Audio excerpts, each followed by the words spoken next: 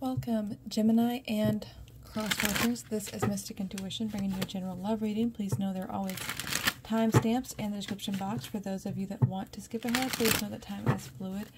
That means for you, this could resonate past, present, or future. If it does not resonate, and even if it does, be sure to check out your moon, your rising, and your Venus signs for additional messages and guidance.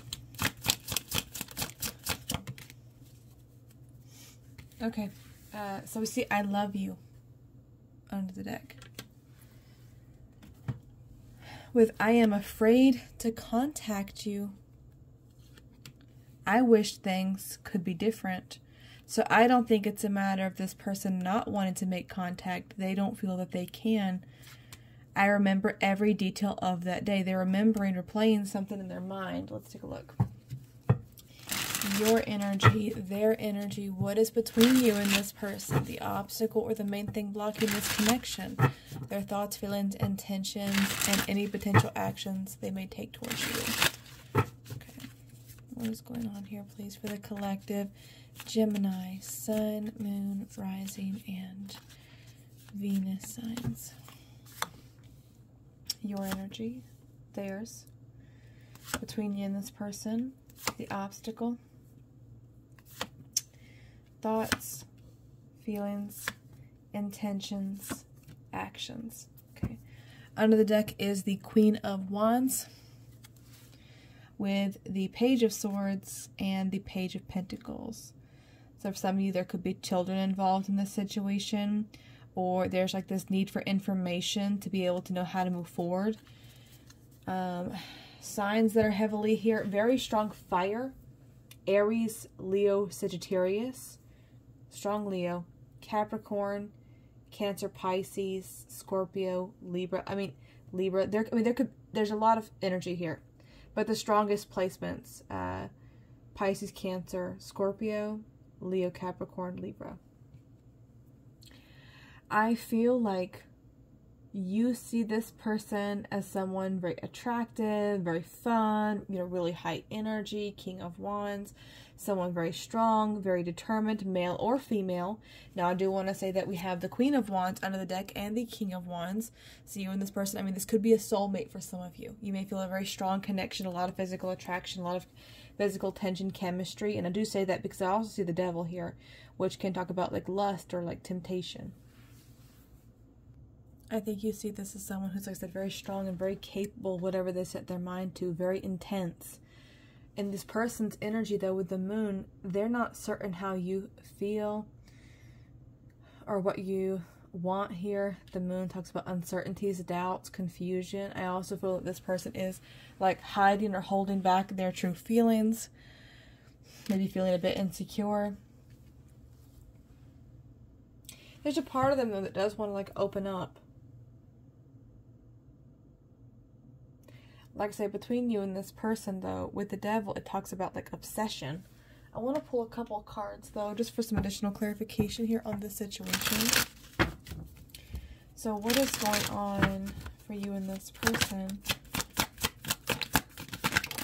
Okay.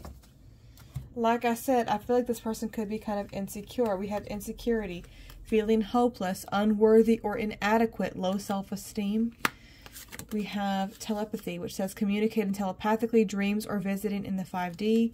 We have curiosity, wanting more information, spying, or interest. This person could be watching you. Reconciliation, apology, coming back together, and forgiveness. So this person may want to apologize to you. They may want to come together and try to rebuild something here. They can't stop thinking about the situation. You can't stop thinking about the situation. You're both obsessing here, thinking heavily about the other. The issue being the sun. Well, okay, so the sun is the happiest card in the deck. You know, it can say that you feel very comfortable, very safe with each other, very warm, excited, playful. But as a negative, it's like someone who's preventing themselves from really being happy, someone who's not opening their heart or following it. Uh, sometimes the sun can talk about children, so it very well could be that maybe there's a child that's kind of in the way here. Sometimes the sun can even talk about clarity or truth. So for some of you, it can also say that there are things that have kind of come to light that have caused some type of separation here. Now, I don't feel this way for all of you, but for some of you, it's definitely possible that maybe this person has to make some change in their life. Like maybe they are making a choice between two people. I'm, afraid to contact you. I wish things could be different. I remember every detail of that day. Apology. Coming back together they're feeling very insecure. They can't stop thinking about you. They want to be happy, but they've been preventing themselves from moving forward towards you because they're afraid of something, some kind of truth coming to light. When they think about you, the Five of Swords is my rearview mirror card. It's like looking back into the past, you know, and walking away from something. But like oftentimes, even in traditional depictions of Five of Swords, you see someone who's walking away but they're not jumping dancing singing clapping. Like they're not they're not enthusiastic. They actually look kind of pained or you know. So it's like someone who thinks they've won some kind of battle they've walked away but now they're having regrets about their choices or their actions. And we see that because again come back together. Apology what does this person feel I think that this person is kind of trying to process their feelings, yes. Six Swords is about getting from one place to the other, but they have to make some kind of transition or change in their life in order to move towards you. Their intentions with the Death card, this can talk about an ending, Scorpio energy, making some kind of choice, ending uh, toxic karmic cycles, trying to do the right thing, trying to find balance in their life. So for some of you, this person wants to have like this new beginning. But the, again, there's curiosity, needed information. Page of Swords. Ace of Pentacles here. This person wants to offer you something, but they don't know what to offer you. They need to be honest and speak up here. All right, what I'm going to do next is I'm going to pull messages from your person to see what this person wants to say to you. Okay. Capricorn. So for some of you, there could be a Capricorn involved. You could have strong Capricorn in your chart. Uh, or perhaps Capricorn season could be relevant for some of you. Yearning to hold you again. It's not what it appears. February also. February could be relevant. We are currently in March, but maybe something happened in February, or it's someone's birthday, an anniversary, or an upcoming event. I have intimate dreams about you.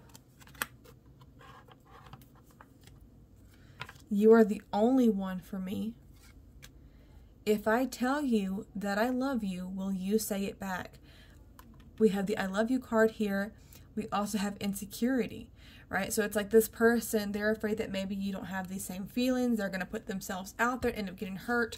We have Scorpio energy or Scorpio season also. Nobody will ever come between us again. I love the sound of your voice. Let's do one more card.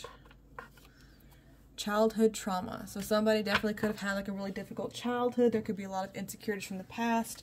Nobody will come between us again you know, there's something very comforting about you. There's a lot of different like emphasis here on like time frames and zodiac signs. So some of those could be relevant. Yearning to hold you again. You're the only one for me. If I tell you I love you, will you say it back?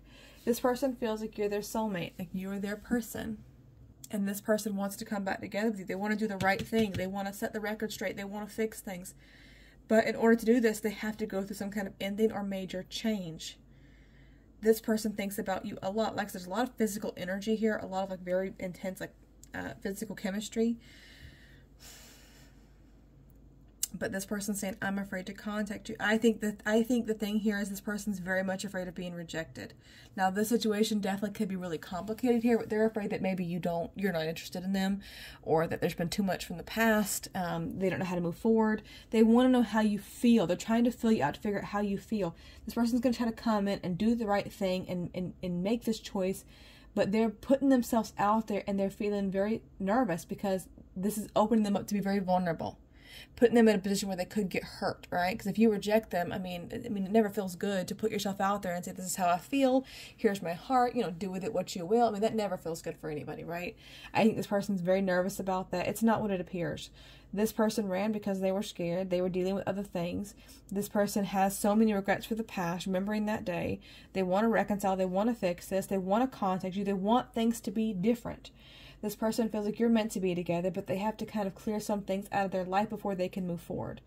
But I do feel like this person is going to want to try to open up to you, but it is hard for them to do that because they're looking for uh, signs or clues or something to show that you have the same level of interest that they have. Okay, so that is what I have for you. Thank you again so much for watching. Thank you for liking, sharing, and subscribing. As always, I wish you strength and many blessings.